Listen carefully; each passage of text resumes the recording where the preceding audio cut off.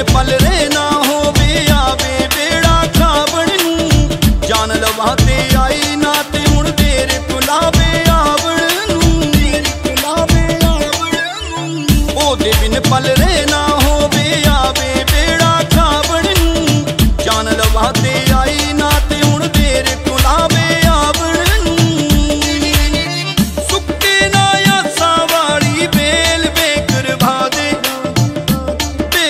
ਆਦੇ ਰੱਬਾ ਜੋਗੀ ਦੇ ਨਾਲ ਮੇਰਾ ਮੇਲ ਵੇ ਕਰਵਾ ਦੇ ਰੱਬਾ।